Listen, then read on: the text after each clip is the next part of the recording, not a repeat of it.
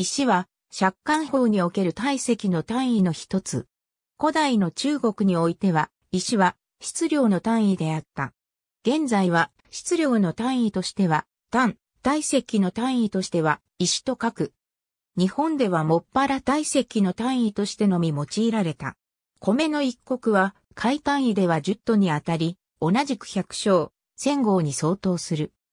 日本では、一食に、米一号、1日3号がおおむね成人一人の消費量とされているので、一国は成人一人が一年間に消費する量にほぼ等しいとみなされ、基準として換算されてきたの計量法により、借款法の使用が禁止され、公式には使われなくなった。現在は材木取引など一部の小観光に残るのみである。日本では文字としては石を書くが発音は国に由来する国を使用する。千国以上の場合は国と濁る。新京マスに統一された近世初期の漢文9年に現在と同じ要領となった。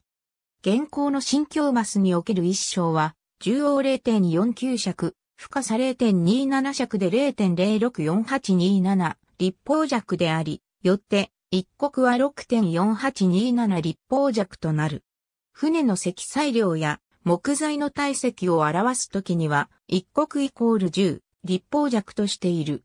明治時代を迎え、米一票が4都と規定されて、2.5票が一国となった。また、メートル法を取り入れるにあたっては、日本では明治19年の条約批准後、メートルを基準にして一升イコール約1.8039リットルと定められ、よって一国は約180.39リットルということになった。本来、石は石と読み、質量の単位であった。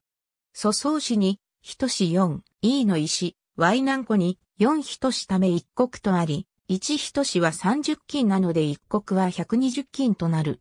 例えば、元代の金は約 258g であったので、一国は約 31kg となる。漢序率歴史では、体積の単位としては、都の10倍の国があり、一方質量の単位としては、金の120倍の石があった。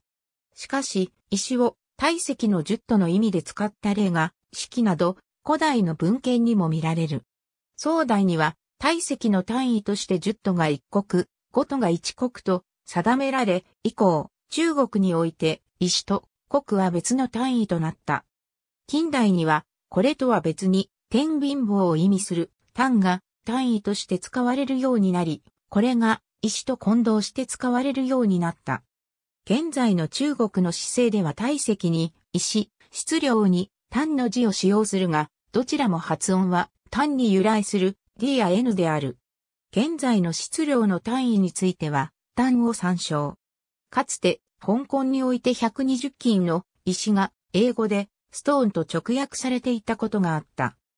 ヤードポンド法の質量単位に同温度を綴り意義語であるストーンがあるが、香港の借款法の石は 72.5748784kg、ヤードポンド法のストーンは約 6.4kg と、その値は大きく異なる。国は、現代の中国では使われていない。朝鮮では、漢字表記は、石で、発音もその漢字音と読むが、この単位が俵一つの容積にあたることから、固有語で俵を意味するを使用するのが一般的であり、トマという漢字を当てて表記する場合もある。一国の容量は180リットルだが、穀物の種類や状態によって重さが変わる。もみは 200kg、米は 144kg、清爆は 138kg。一国は10トである。しかし、白木時代にはもともと15トであった。中世末期から近世の終わりにかけての日本では、土地の総合的生産力を石に換算した数量が国高として明示されており、これは地域ごとの勢力や領地の大きさを表す指標ともなっていた。国高の差は戦時の動員力や経済力の優劣に関わるものであった。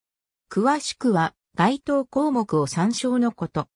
江戸時代からの慣習により、現在も日本酒などの醸造業界では製造量を国高で表していることが多く、これを作り国高と呼んでいる。ありがとうございます。